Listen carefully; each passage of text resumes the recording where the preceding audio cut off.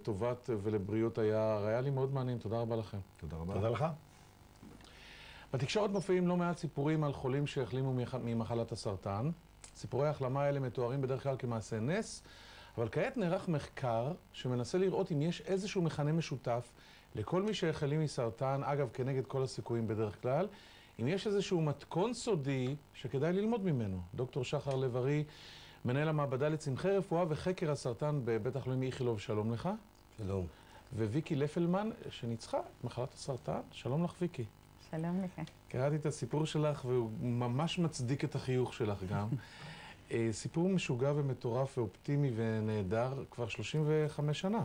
נכון. היית בת 19, נכון? נכון. ועליתם ארצה מאיפה? מארגנטינה. עוד שומעים את זה, לא חשוב כמה שנים יעברו. נכון. והיית במספרה, ופתאום הבנת שיש לך סרטן. איך נכון. הבנת את זה? אה, פתחתי מגזין, אה, מגזין של לאישה, לאישה. ושם היה כתוב שדוקטור שושנה בירן, שהייתה הרופאה שלי, היא המומחית אה, לסרטן במזרח התיכון. ואת היית בטיפולים אצלה, אבל לא אמרו לך שיש לך סרטן. דרך הכתבה הבנת בדיעבד, בהפוך על הפוך. ו... ומה עשית? הייתי בשוק, אבל נשארתי מתחת ל... אה, עוד היה, בתקופה שישבו מתחת נכון. לכובעים המטופשים האלה. לא, לפני אוקיי. 35 שנה. אז נשארתי שמה, והגעתי הביתה, היה לי אה, בלאגן מאוד גדול בפנים, איך יכול להיות שיש לי סרטן, ואף אחד לא מספר לי. ומשם התחיל איזשהו שינוי, מזה שהתחלתי לקחת אחריות. אם אני יודעת שיש לי סרטן, אז אני יכולה לעשות משהו בקשר לזה. איזה סרטן היה לך? היה בחלל הבטן וכל הלימפה, פריטונאום ופלאורה. מסוג שבעצם אה, לא נתנו לך הרבה סיכוי.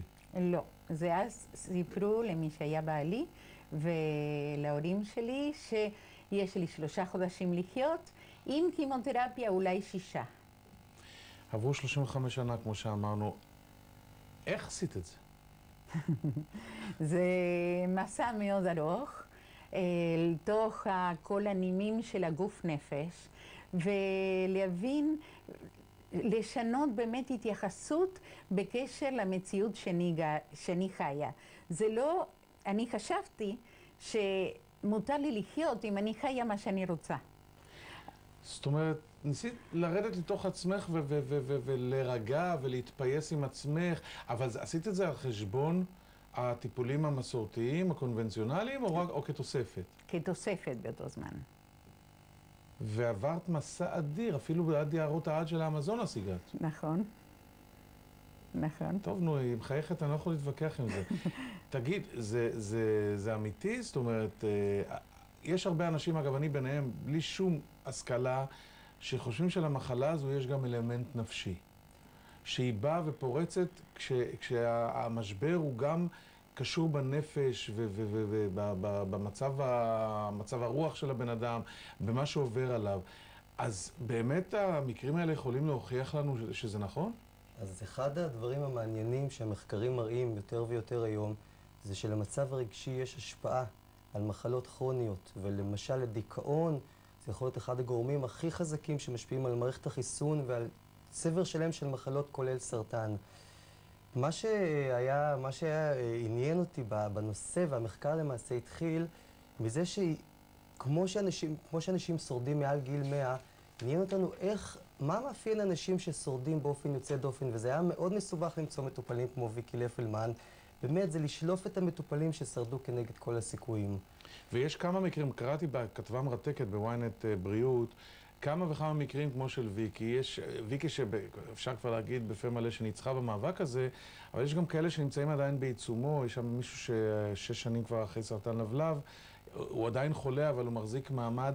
מצאתם סוג של מכנה משותף?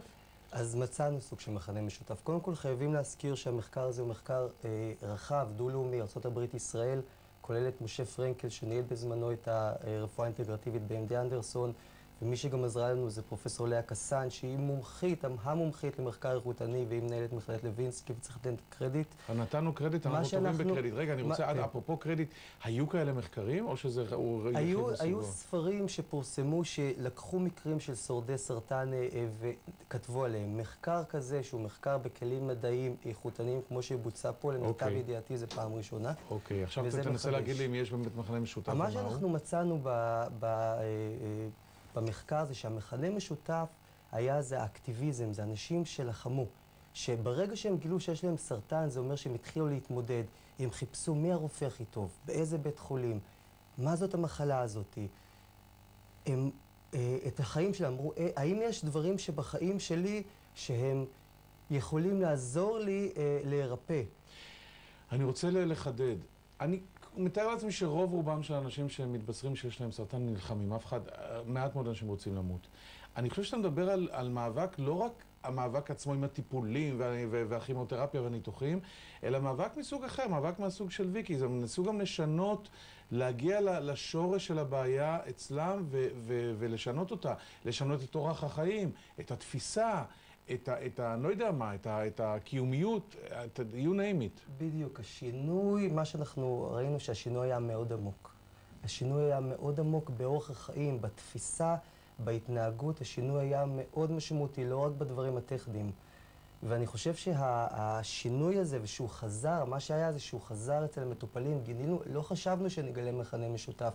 השאלות היו מאוד כלליות, וברגע שמצאנו שהשינוי הכללי הזה של אורח החיים זה מה שאפיין את המטופלים, אז, אה, ומזה אני חושב שאחד הדברים החשובים שנולדה תוכנית שנקרא נקודת מפנה, כי אותי זה כל כך הרשים שמישהי כמו ויקי, שסליחה אני אומר, רופאים כבר קברו אותה לא עשר מטר באדמה, אלא מאה מטר באדמה.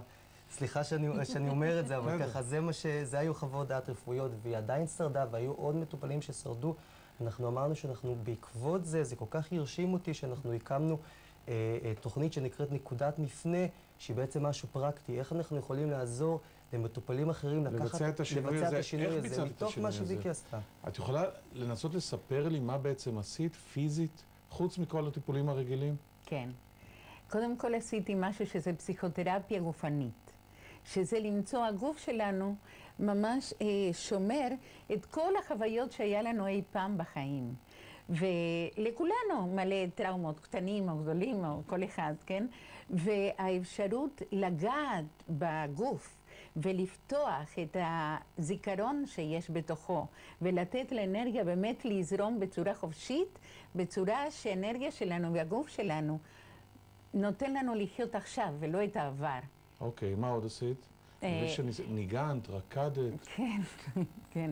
עשיתי המון דברים. גם כתבתי, גם רקדתי, למדתי דאנס תרפי, אה, כי למדתי קודם פסיכולוגיה וריקוד. וידעתי שהגוף יכול להביע בצורה מאוד ישירה דברים שהמילים זה לוקח להם המון זמן. אז אה, עבודה ישרה לגוף, במגע. ובתנועה ובנשימה, נותן לנו אה, אפשרות להגיע מאוד מהר לדברים מאוד עמוקים. ובגלל שלי לא היה זמן, אני מאוד מהר צללתי לתוך הפסיכותרפיה הזאת, ההוויה הזאת, והתחלתי להוציא טראומה אחרי טראומה, ככה כמו שמקלפים. למשל, העלייה לארץ מבחינתך הייתה טראומה, ניסית לחזור, גם לא הצלחת, הנישואים המהירים, אני מבין שגם את זה החלפת. תיקנת את כל התיקונים שרצית לתקן פשוט. כן. כן. וזה הצליח. כן. אז אה, טוב, לפעמים עושים את זה אחרי שנים חולים, לפעמים עושים את זה לפני. אה, הייתי יכול לדבר איתכם על זה עוד אה, כמה שעות טובות. משפט אחרון? משפט אחרון, דגש אחד. קודם כל מדובר על רפואה משולבת, זה לא בא ממשהו במקום. אמרנו את זה הרבה פעמים. ודבר שני, שאנשים לא ייקחו איזושהי אשמה. זה בנוסף, אנחנו לוקחים את הקרינה הכי טובה, את הכימותרפיה הכי טובה, ועושים את השינוי הכי טוב באורח החיים, אנחנו משפרים את הסיכויים. וכפי שראינו, יש לזה סיכוי מצוין. תודה. והדבר זה לצאת מהתחושה של קורבן לתחושה שיוצר, שיכול ליצור עם המציאות. הסברת את זה מצוין, ויקי. תודה רבה לכם. תודה. תודה.